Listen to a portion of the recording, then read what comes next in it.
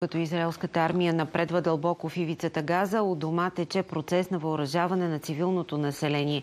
Продажбите на огнестрелни оръжия в еврейската държава са нараснали хиляда пъти от 7 октомври насам, в сравнение с периода преди атаката на Хамас. За това има обяснение. Израелците искат да се защитят по-ефективно себе си и своите семейства. Продажбите на оръжия в Израел скочиха многократно след бруталната атака на Хамас на 7 октомври. В окупирания западен бряг хората масово купуват оръжие, за да се защитават на улицата и по домовете си. Всичко това се случва с благословията на военновременното правителство. Всички продажби скочиха от 7 октомври насам. Увеличиха се хиляда пъти в сравнение с преди атаката на Хамас. Това е същинска лудост. Цивилни масово започнаха да купуват оръжия. Когато имате пистолет, можете да се защитите.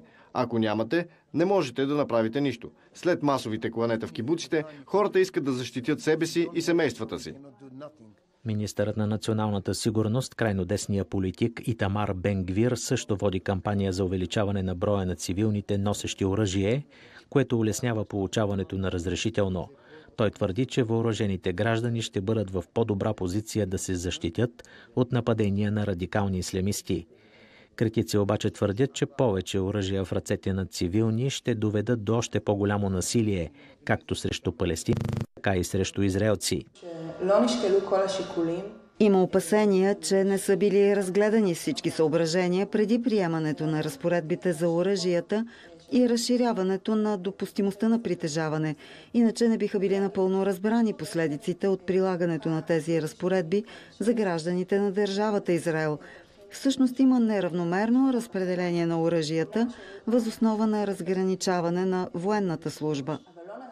Според организацията Small Arms Survey през 2017 година е имало малко над половин милион огнестрелни оръжия в ръцете на цивилните в Израел. Това е 6,7 оръжия на 100 000 жители, което е сравнително нисък брой. За сравнение при американците показателят е 120,5 оръжия на 100 000 души, най-високия в света – Доклад на Израелския парламент показва, че 41 000 молби за разрешителни за купуване на оръжие са били подадени в първата седмица след атаката на 7 октомври. Обикновено общо за годината се подават около 38 000 молби.